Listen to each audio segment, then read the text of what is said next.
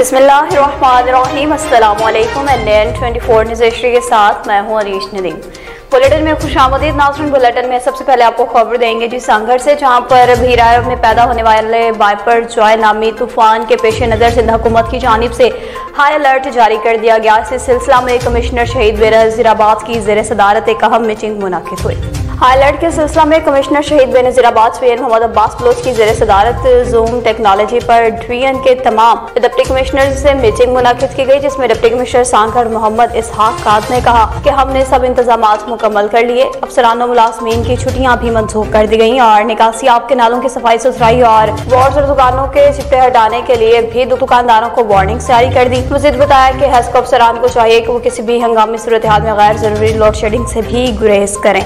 इस हवाले से इन्होंने बताया कि कंट्रोल रूम फाल कर दिया गया है जो कि 14, 15 और 16 जून 2023 तक 24 घंटे काम करेंगे। अब रुक करेंगे जी नारोवाल का जहाँ पर district emergency officer engineer Naeem Akhtar ने डिप्टी कमिश्नर नारोवाल को हंगामी सूरत हाल से निपटने के हवाले से ब्रीफिंग दी। नईम अख्तर ने डिप्टी कमिश्नर नारवाल को किसी भी आफत और हंगामी सूरत हाल से निपटने लोगों को रेस्क्यू करने, फर्जी मशकों एम्बुलेंसेज रेस्क्यू और सैलाब से मुतल मशीनरी के बारे में ब्रीफिंग दी।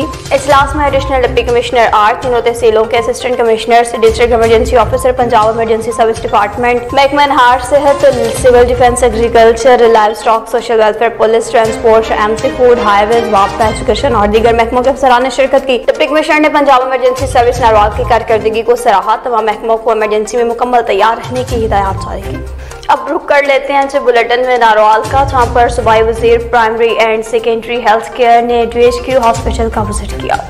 वजी primary and secondary health care doctor Jamal Nasir का जीएचक्यू का visit. Emergency radiology dialysis units pharmacy और गायनी समेत मुख्त वार्ड का मुआयना। मरीजों के इलाज मुआवजे की सहूलियात का भी जायजा लिया। सरकारी फार्मेसी में मौजूद अद्वियात की बजाय प्राइवेट मेडिसिन को अपने नुस्खे में शामिल करने पर दो डॉक्टर्स की जवाब तलबी। सूबाई वज़ीर की जानब से मेडिकल लैब में बेहतरीन काम करने पर लैब टेक्नोलॉजिस्ट को मौका पर इनाम से नवाजा। सूबाई वज़ीर ने सफ़ाई सुथराई और बेहतरीन इंतज़ाम पर डी हॉस्पिटल नारोवाल को नंबर वन करार दे दिया। बाद कमिश्नर नारोवाल ने सूबाई वजी सेहत पंजाब डॉक्टर जमाल नासिर को मुमकिन फ्लड इंतज़ाम के बारे में भी तफसी ब्रीफिंग दी। अब आपको बता रहे हैं, सरगोदा से जहाँ पर बर्दाश्त तनसीम की बॉडी मुकम्मल हो गई, जिसके बाद हल्फ पड़तारी की तकरीब भी मुनद हुई। मकतबा दौरान से डिस्ट्रिक्ट फायर एसोसिएशन सरगोधा के सरराना ज़फ़र यासी ने हल्फ लिया। महमूद दौरान को मुबारकबाद पेश की। सरगोधा के निजी होटल में मुनदा हल्फ बरदारी की तकरीब में शहर की अहम और मौत पर शख्सियात ने शिरकत की। मुकर्रीन से खिताब करते हुए कहा गया कि माशरे में बर्दाश्त के कल्चर को फ़रोग देना वक्त की अहम ज़रूरत और बुनियादी ज़िम्मेदारी है, जिसके लिए बर्दाश्त तंजीम अहम किरदार अदा कर रही है। मंतखब सदर बर्दाश्त मलिक आबिद हुसैन ने गुफ्तु की, कहा कि माशरे की इमारत अखलाकियात बर्दाश्त रवादारी और मोहब्बत के स्तूनों पर खड़ी होती है। आदम बर्दाश्त का अहम सबब मुआशी और माशरती नाहमवारी है। इस मौका पर सीनियर वाइस प्रेसिडेंट बर्दाश्त डॉक्टर अनिका रिहान ने भी गुफ्तु की। हल्फ पर तारीख के मुनदा तकरीब में चेयरमैन एग्जेक्टिव कमेटी बर्दाश्त पंजाब अब्दुल वहीद चुगताई रीजनल कोऑर्डिनेटर बर्दाश्त Sheikh Nasir Mehmood director public relation Sargodha Shahzada Ahmed Virk general secretary Sargodha bar Syed Zamirul Hassan शरासी चौसी आतिफ कौंदल एडवोकेट डायरेक्टर रेजियो गुलाम अब्बास समेत दीगर अफराज ने शिरकत की। तकरीब के आखिर में शील्ड भी तकसीम की गई। ननकाना साहब से आपको खबर दे रहे हैं जहाँ पर थाना सदर शाहकोट की पुलिस ने कामयाब कार्रवाई की।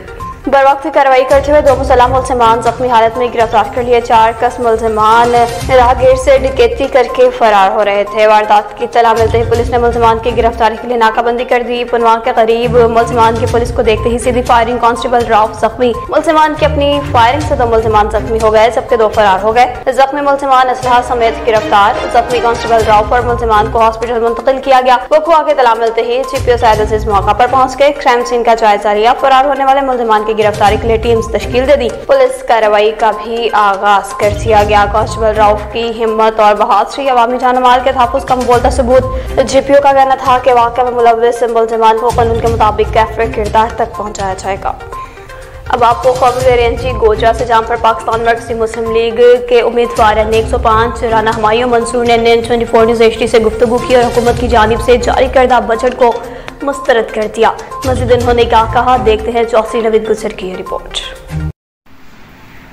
जी, बिल्कुल, इस वक्त हम मौजूद हैं में और हमारे साथ मौजूद हैं पाकिस्तान मरकजी मुस्लिम लीग के उम्मीदवार एम एन ए राना मैम मंजूर साहब, जो कि पाकिस्तान का भी जो बजट आया है महकमा सेहत के हवाले से तो उसके बारे में मैयू साहब बताइएगा कितना बजट है और उसके हवाले से जरा आगाह कीजिए बसमीम वतन पाकिस्तानियों, ये जो अभी हुकूमत ने बजट पेश किया है, इसमें हेल्थ के लिए सिर्फ़ 300 अरब रुपये मुख्त किए गए हैं।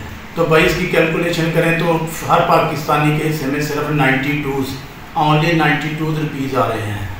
तो ये तो वो जो उनके मुँह में जीरे वाली बात है ना, उससे भी बदतर सूरत हाल है। इस बजट को फिल फॉर और जो हेल्थ के बारे में जो बजट है इसको फिर फॉर कम से कम 200 परसेंट बढ़ाना चाहिए, कम से कम। तो इस लिहाज से ये बहुत ही कमज़ोर बजट पेश किया गया है, जिसमें अवाम की सेहत आमा को बिल्कुल ही मलूद नज़र नहीं रखा गया तो अवाम पहले ही बहुत परेशान है तो हम इस बजट को बिल्कुल भी किसी लिहाज से कबूल नहीं करेंगे।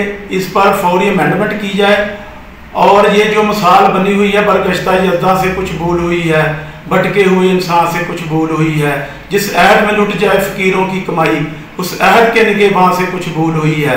फौरी तौर पर इसमें अमेंडमेंट करके महकमा को चाहिए कि सेहत के हवाले से अपने बजट को फौरी तौर पर इंक्रीज़ किया जाए।